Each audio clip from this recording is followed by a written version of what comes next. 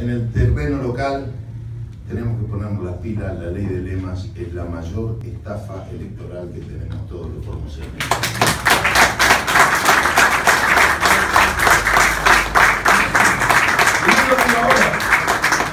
Cada campaña lo decimos, es el mayor derroche de recursos y es la mayor estafa electoral que se le hace a los formoseños.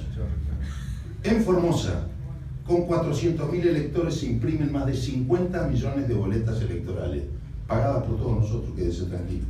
Ningún funcionario, ningún candidato paga eso. Más de 50 millones de boletas se pagan en Formosa. Y se tergiversa la voluntad popular. Porque la voluntad popular dice que vota a un candidato y el voto termina yendo a otro. Nosotros lo que queremos hacer es votar a los candidatos que correspondan.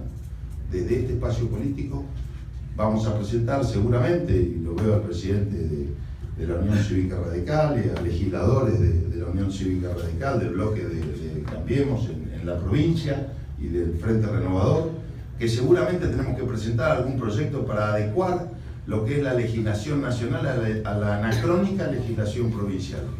Hoy resultaría incompatible poder votar eh, elecciones nacionales con elecciones provinciales. Esto quiere decir que va a haber que adecuar o seguir con la avanzada, con el voto electrónico que propone el gobierno nacional, contra el sistema anacrónico que propone el gobierno provincial. Yo creo que Formosa va a cambiar y va a cambiar de la mano del gobierno que nosotros estamos encabezando y que ustedes con enorme esfuerzo y enorme sacrificio están sosteniendo. Nosotros sabemos lo que pasa en la economía, nosotros sabemos lo que pasa en la casa de cada uno de ustedes.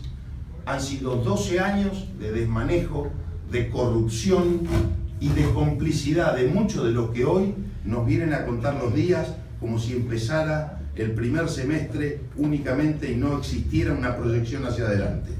Nosotros tenemos la absoluta convicción de que había que hacer cambios y lo hemos hecho y lo estamos haciendo.